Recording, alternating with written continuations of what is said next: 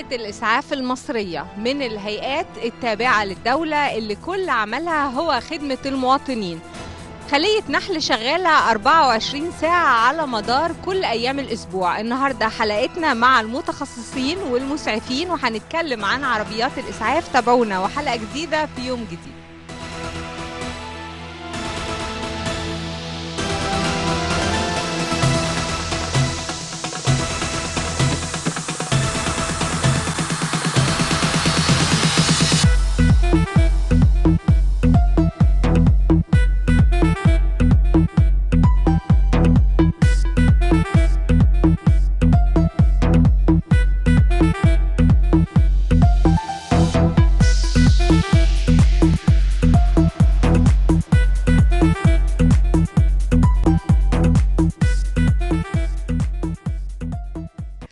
الدكتور أحمد الأنصاري رئيس هيئة الإسعاف المصرية. هو ضيفنا اللي منورنا النهارده وهو أكتر واحد ممكن يقدر يكلمنا عن الإسعاف المصرية واستعداداتها والتطوير اللي حصل فيها في الفترة الأخيرة.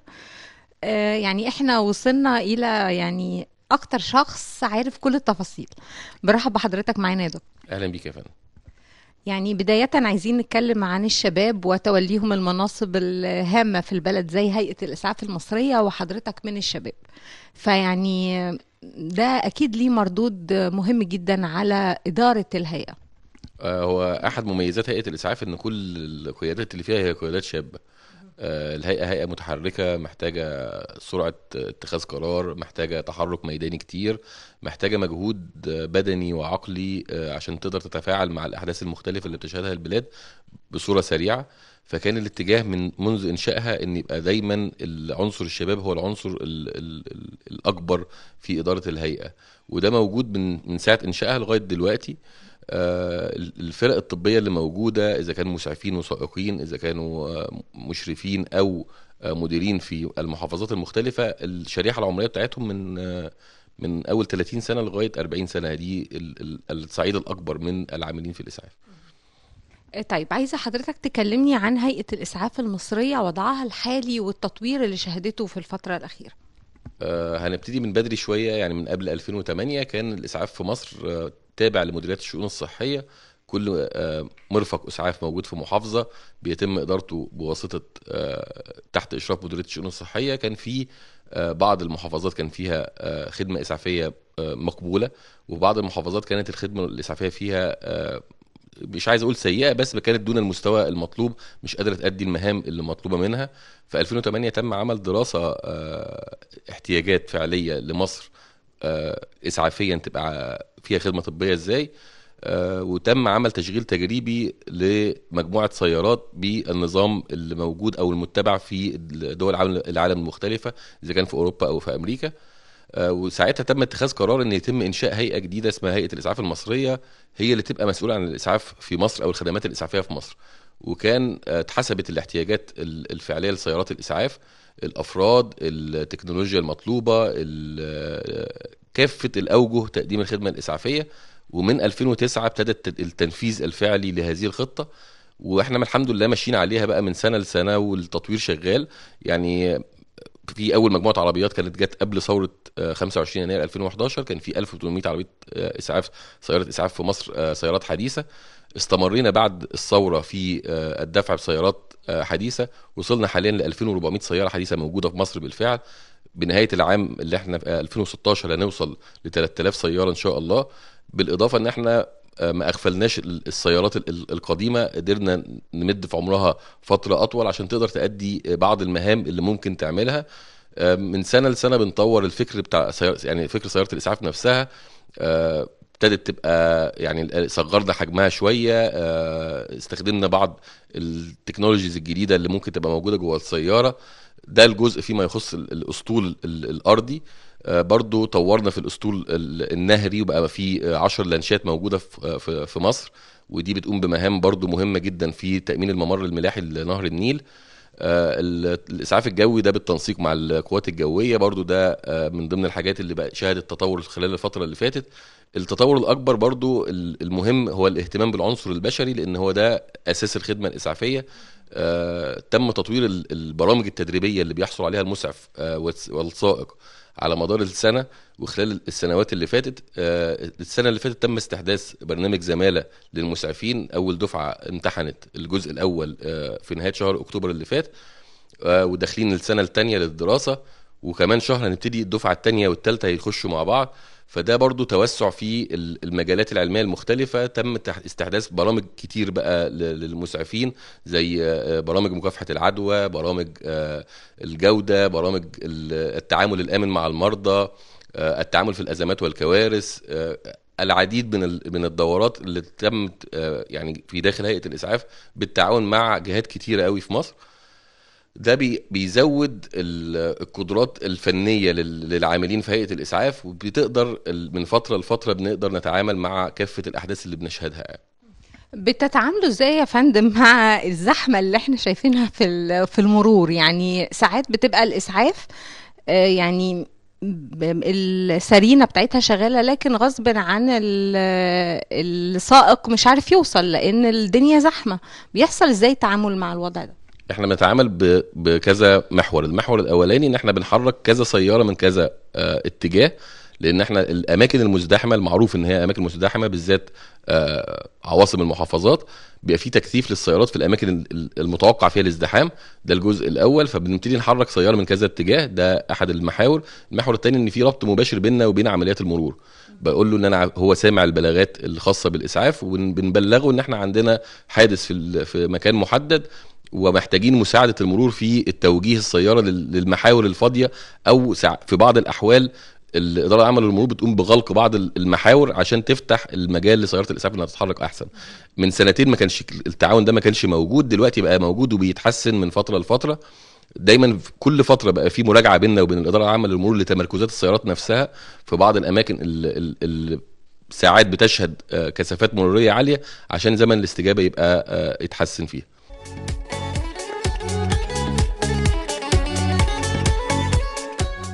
دكتور محمد عناني هو رئيس غرفة عمليات إسعاف القاهرة الكبرى. هيكلمنا عن غرفة العمليات اللي إحنا موجودين فيها النهاردة دلوقتي وهي الحقيقة خلية نحل. يعني بيستقبلوا الاتصالات. هنعرف أكتر تفاصيل من الدكتور. برحب بحضرتك كده أهلا يا فندم بحضرتك. عايزين حضرتك تشرح لنا اللي إحنا شايفينه ومشاهدينا شايفينه معانا. طيب ده حضرتك دلوقتي إحنا عندنا ده غرفة عمليات القاهرة الكبرى. دي غرفة القاهرة. الكبرى القاهرة متقسمة عندي أربع قطاعات. قطاع شمال وشرق وجنوب. قطاع شمال وشرق وجنوب. وغرب. تمام؟ بيجي لنا البلاغ جاهز من القرية الذكية عن طريق آه، 123 بيجي لنا البلاغ على نظام الكات حضرتك بيبتدي مسؤول الجهاز يتعامل مع البلاغ ويفتحه ويشوف الج- ال- العربية فين ويشوف أقرب عربية توصل لمكان البلاغ. ويبتدي يحرك العربية بحيث توصل في اسرع وقت اللي هو ال response time بتاعنا المفروض يبقى أسرع من كده بكتير.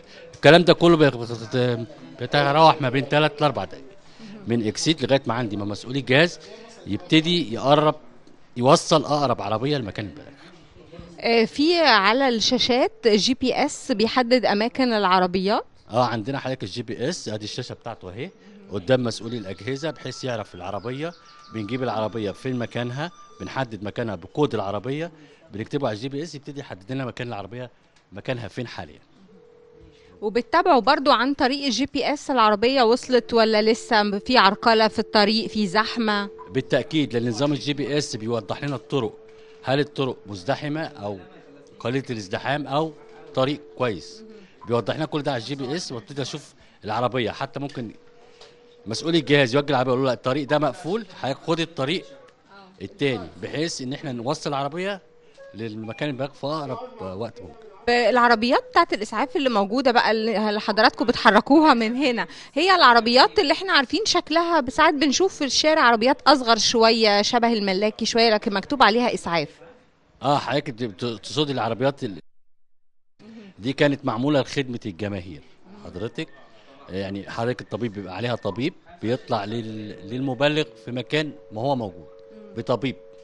دي العربيات اللي هي الصغيرة اللي هي إنما بقية العربيات كلها خدمات إسعافية سواء حوادث مبلغين إصابات في المنازل آه كوارث أي حاجة عندنا بنوجه لها أي عربية لكن ال E class دي ممكن إنها برضو أطلبها من التليفون وعايزة دكتور في البيت. آه دي كانت خدمة موجودة عندنا كانت ما كان بقتش موجودة. لا ما بقتش موجودة طيب إيه الجديد اللي بتقدمه غرفة الطوارئ هنا والغرفة بتاعت control الإسعاف؟ الجديد حضرتك إن إحنا بن- بنحاول نخلي العربيات كلها GPS تمام؟ وبنحاول إن إحنا نبقى كمان يعني في الفترة المقبلة لما ننقل بس من هنا. هنحاول بقى إن يعني ناخد إحنا المكالمات نتلقى إحنا المكالمات ونبتدي نوزعها إحنا بحيث إن إحنا نبقى أدرى شوية بالخدمات أحسن من ال call taker اللي بيبقى قاعد هناك في متلقي البلاغات اللي قاعد في الكسيت. ما يبقاش عنده الخبرة الكافية إن هو عارف العنوان بالظبط فين إيه العربيات اللي ممكن يديها إيه الجهاز اللي ممكن يحول له الخدمة. فكل دوت في الخطط المستقبلية هنطور الكلام ده كله والاحساب بتاعتنا موجودة وبنعمل كل حاجة.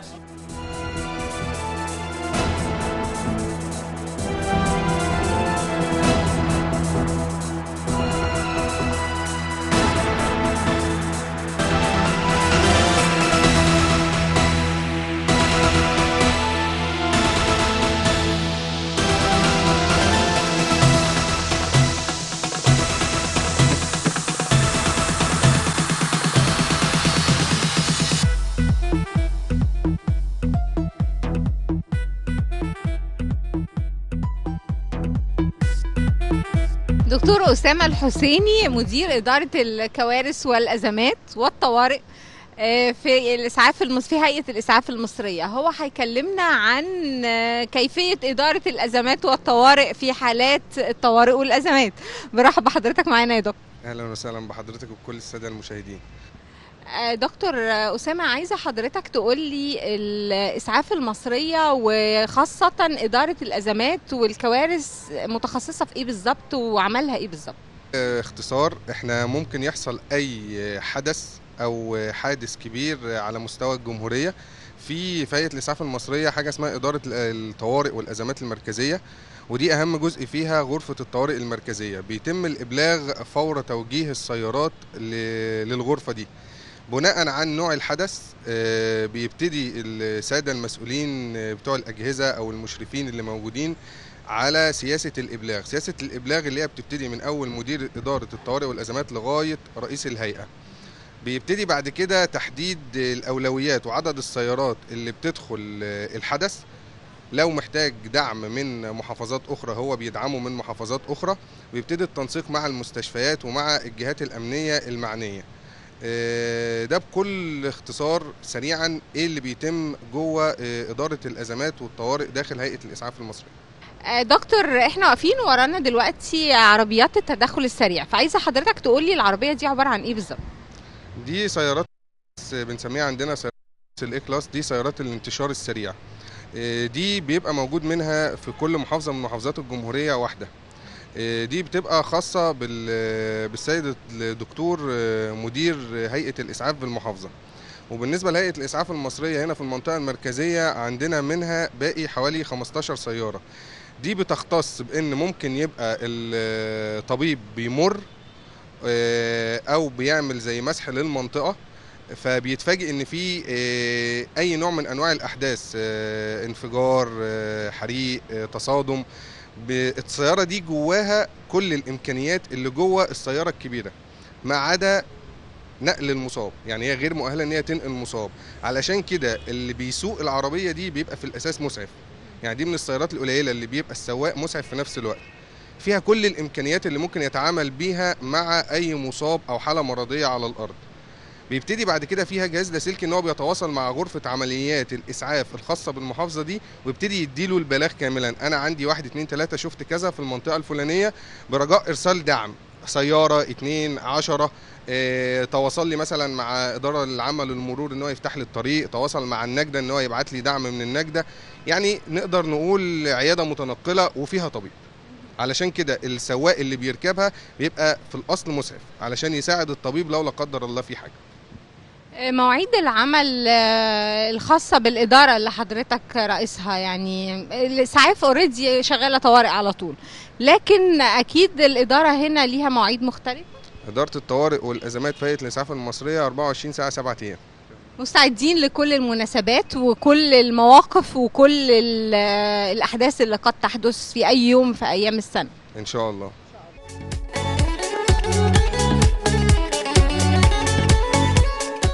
معانا دلوقتي الأستاذ تامر السيد هو مسعف والأستاذ محمود هو سائق عربية الإسعاف. هنتكلم عن كل واحد ودوره وكل واحد والمهام المختص بيها أثناء الطوارئ. آه، تامر آه، الأول عايزة أعرف آه، يعني الدورات اللي حصلت عليها عشان تبقى مؤهل لأنك تبقى مسعف في عربية إسعاف. okay أنا خدنا أول دورة CPR. دي آه، آه، خاصة بالحالات حالة ال arrest إن إحنا نشتغل معاها إزاي. وخدنا آه، في حاجة اسمها التصنيف بكل أنواعه triage وخدنا يعني هي دورات كتيرة جدا. بس أنت خريج إيه أساسا؟ أنا خريج معهد فني صحي تخصص طوارئ طبية. هايل. آه، محمود آه، دور السائق في عربية الإسعاف إن هو بس يسوق ويعرف يوصل للمكان في أقرب وقت وأسرع وقت ولا ليه دور تاني في مساعدة المسعف؟ لا هو إحنا حضرتك السواقين واخدين دورة إسعاف زينا زي المسعف بالظبط وبنساعد المسعف في كل الحوادث وال- والحالات الحرجة. قولي بتعرف إزاي توصل في أوقات الذروة للمكان اللي أنت المفروض توصل؟ والله بنشغل السرينة ونحاول يعني مع الجمهور. في جمهور بيت ع- بيت بيجاوب. معانا وفي يعني بنعاني بصراحة في الزحمة ج- كتير جدا. بيبقى في تواصل ما بينكم وما بين المرور. في الكوارث بس في الكوارث الكبيرة. بي- بيوسعوا لكم الطرق بيسهلوا وصولكم للمكان. في الكوارث يعني لما بيبقوا متواجدين بين المتابعة بت- بتعا- بتتواصل معاهم ويفضلوا لنا الطريق. بس يعني نادر جدا. آه، تامر آه، قولي يعني إيه الحالات الصعبة اللي بتواجهك؟ آه، أكتر يعني آه، الحالات الصعبة أكتر حالات الحوادث. دي أكتر اللي محتاجة إن إحنا وص- نوصل بمنتهى السرعة. دي حاجة والحاجة التانية آه، اما بننزل كمان. في ناس يعني بتبقى كتير في قلب الحادثة ما بيدوناش فرصة إن إحنا ممكن نتعامل مع المصابين. وفي بعض الأحيان مجرد ما بنوصل بنلاقي الحالات أصلا ممكن تكون في العربية يعني. والله لو ما بناخد بمجرد ما بنوصل وفي ناس بتبقى متفهمة بكده بتدينا دورنا يعني. وإحنا بنشتغل مع ال مع ال patient على الأرض وبنشتغل معاه بنعمله first aid وبعد كده بننقله في العربية ونبتدي نتوجه لأقرب مستشفى بسرعة يعني. الناس بتبقى في بعض الحالات آه، زي ما انت بتقول متعاونة. وفي بعض الناس الطريق بيبقى زحمة بتلومكم مثلا انكم جيتوا متأخرين. في بيحصل طبعا في بيحصل وإحنا طبعا ما بنحاولش بالذات نحتك بيهم. إحنا بنقوم بدورنا مجرد ما بنوصل بنقدر آه، قعدنا أكتر حاجة على عدد المصابين وبنختار الغرفة بكده. أول ما بنوصل بنبلغ عدد المصابين قد إيه عشان لو احتاجنا آه، تعزيز أو احتاجنا عربيات تانية يجي لنا برضو لل... آه، عشان المصابين بأسرع وقت يعني. أنتوا مش بتقدروا تنقلوا في العربية غير مريض واحد؟ هو العربية في لو في مريض آه، لو مصاب ممكن مصاب تاني بس يكون حالته مستقرة شوية. يعني ما يكونش فيه fractures مثلا ما يكونش فيه كسور ما يكونش فيه آه، حاجة آه، يعني أكون أكون شاكك إن فيها مشكلة. يعني يعني حاجة bruises بسيط كدمة حاجات بسيطة ممكن أنقل مصاب تاني لو على الاعداد كتيرة. أما هو المفروض لو هو مصاب واحد حالته خطيرة ده أكتر مصاب اللي بيتنقل. هو اولى بالنقل. طيب الاستعدادات في الأوقات العادية. طبعا أنتوا طوارئ وشغالين 24 ساعة حسب الشفتات لكن في بعض الأوقات ولنك وليكن مثلا الأعياد وبيبقى في آه، زحام بيبقى في مشاكل بيبقى استعدادكم عامل إزاي في الوقت ده؟ إحنا اوريدي جاهزين. بمعنى صح مجرد ما بيجي لنا البلاغ بنتحرك بمنتهى السرعة.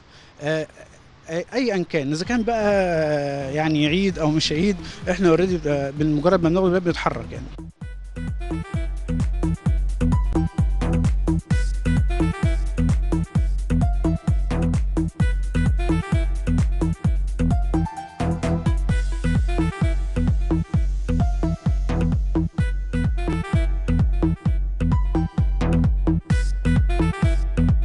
خلصت حلقتنا اللي من خلالها اتعرفنا على الخدمات اللي بتقوم بيها هيئة الإسعاف المصرية. اتكلمنا مع المسعفين والمتخصصين. كمان عرفنا إنهم جاهزين 24 ساعة على مدار الأسبوع لخدمة المواطنين في كل المحافظات. هم ليهم طلب واحد بس إن المواطن المصري يكون على قدر كبير من الوعي لمساعدتهم في تقديم الخدمة على أكمل وجه علشان كل يوم في حياتنا يكون يوم جديد. Thank you.